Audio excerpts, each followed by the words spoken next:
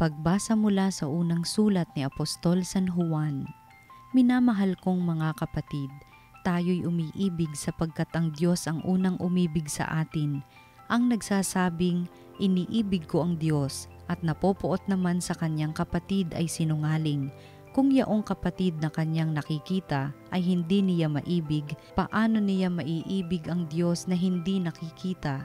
Ito ang utos na ibinigay sa atin ni Kristo. Ang umiibig sa Diyos ay dapat ding umibig sa kanyang kapatid. Inaaring mga anak ng Diyos ang sumasampalatayang si Jesus ang Mesiyas. At sino mang umiibig sa Ama ay umiibig din sa mga anak. Ito ang palatandaang iniibig natin ang mga anak ng Diyos kapag iniibig natin ang Diyos at tinutupad ang kanyang mga utos sapagkat ang tunay na umiibig sa Diyos ay yaong tumutupad sa kanyang mga utos at hindi naman mahirap sundin ang kanyang mga utos sapagkat napagtatagumpayan ng bawat anak ng Diyos ang sanlibutan at nagtatagumpay tayo sa pamamagitan ng pananampalataya. Ang Salita ng Diyos Poon maglilingkod sa iyo tanang bansa nitong mundo. Turuan mo yaong haring humatol ng katwiran sa taglay mong katarungan o Diyos siya'y bahaginan upang siya'y maging tapat mamahala sa iyong bayan at pati sa mahihirap maging tapat siyang tunay. Poon maglilingkod sa iyo tanang bansa nitong mundo. Inaagaw niya sila sa kamay ng mararahas. Sa kanya ang buhay nila'y mahalagang hindi hamak. Sa tuwina siya naway idalangin nitong bayan, kalingain nawa ng Diyos pagpalain habang buhay poon maglilingkod sa iyo tanang bansa nitong mundo. Naway yaong kanyang ngalan ay huwag nang malimutan, manatiling laging bantog na katulad nitong araw, nawa siya ay purihin ng lahat ng mga bansa, at sa Diyos silang lahat dumadalanging, hari nawa pagpalain kaming lahat, tulad niyang pinagpala. Poon maglilingkod sa iyo tanang bansa nitong mundo. Ang mabuting balita ng Panginoon ayon kay San Lucas. Noong panahong iyon, bumalik si Jesus sa Galilea at sumasa kanya ang kapangyarihan ng Espiritu Santo. Kumalat sa palibot na lupain ang balita tungkol sa kanya. Nagturo siya sa kanilang mga sinagoga at dinakila siya ng lahat. Umuwi si Jesus sa Nazareth na kanyang nilakhan Gaya ng kanyang kinagawian, pumasok siya sa sinagoga ng araw ng pamamahinga. Tumindig siya upang bumasa at ibinigay sa kanya ang aklat ni Propeta Isaías. Binuksan niya ang aklat sa dakong kinasusulatan ng ganito. Sumasa akin ang Espiritu ng Panginoon, sapagkat hinirang niya ako upang ipangaral sa mga dukha ang mabuting balita. Sinugo niya ako upang ipahayag sa mga bihag na sila'y lalaya at sa mga bulag na sila'y makakikita upang bigyang kaluwagan ang mga sinisiil at ipahayag ang pagliligtas na gagawin ng Panginoon.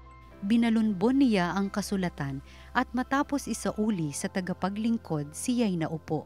Nakatitig sa kanya ang lahat ng nasa sinagoga at sinabi niya sa kanila, Natupad ngayon ang bahaging ito ng kasulatan samantalang nakikinig kayo Pinuri siya ng lahat at namangha sila sa kanyang napakahusay na pananalita. Ang mabuting balita ng Panginoon. Pinupuri ka namin, Panginoong Heso Kristo.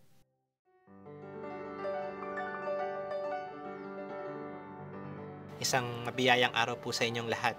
At ngayon po ay January 9 at uh, ito po ay mahalagang petsa para po sa mga deboto ng Nuestro Padre Jesus Nazareno dahil ngayon po ay araw din ng traslasyon o pinagdiriwang natin ng kapistahan ng Quiapo no? at uh, para po sa mga uh, deboto, mga namamanata sa Nuestro Padre Jesus Nazareno, uh, happy fiesta no? at uh, sana po ay maibahagi nyo rin po itong ating pagninilay para sa araw na ito kaya wag nyo pong kakalimutan na mag-subscribe sa ating Facebook at YouTube channel sa at TV Maria Fields. No? Kaya kayo po mag-like at mag-comment at mag-share itong pagninilay natin para sa araw na ito.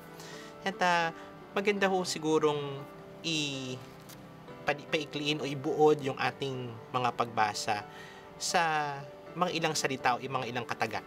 Siguro kung paiiksiin natin yung ating mga pagbasa sa araw na ito, pwede ho nating sabihin na ang pagsunod ay tanda ng pagmamahal. To obey means to love. Ang pagsunod ay tanda ng pagmamahal. Bakit? Dahil kung nakikita ho natin kahit sa mga magulang, no, karanasan din po ng mga magulang, kapag ang bata, kapag ang anak sumuway, no, masakit at mabigat din po para sa magulang. No? Kapag hindi sinunod yung anak ng anak yung kanyang mga mga tuntunin sa tahanan, no? Walang uwi ng 10 oras ng gabi, no?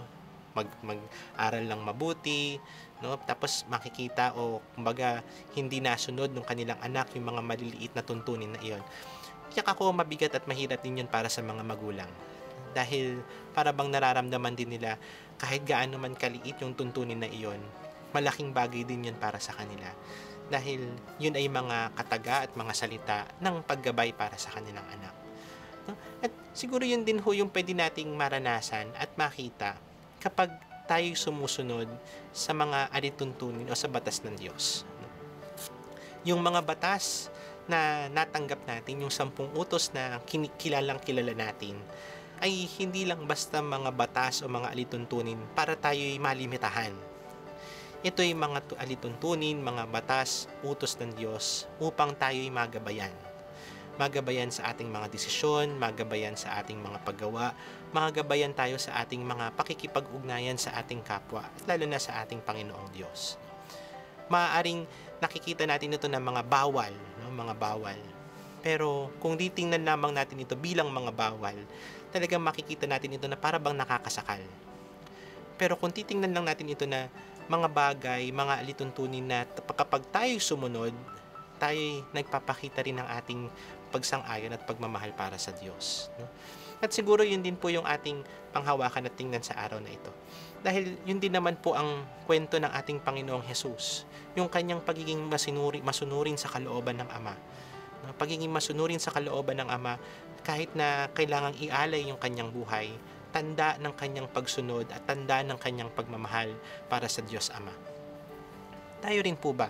Gaano paano ba tayo nagpapakita ng ating pagmamahal? Minsan baka pwede nating sabihin no, uh, sumusunod naman ako sa mga batas ng lipunan. Sumusunod naman ako sa mga batas trapiko. Pero hanggang dun lamang ba yung ating pwedeng panghawakan? Kasi minsan nakikita rin natin no, kahit yung mga simpleng pagsuway sa mga batas trapiko, ang laki din ng nadudulot ito na kaguluhan. No? Pag may isang hindi sumunod na sumunod sa batas trapiko, minsan yan ang nagiging mitya ng away sa kalsada. No, yan nagiging mitya ng pag hindi hindi pagkakasundo sa mga nagmamaneho, no? Pero bukod lamang doon, ano rin ba yung mga alituntunin na binibigay din natin bilang mga nakatatanda sa mga mas nakababata? O di kaya para sa mga tao na nasa posisyon.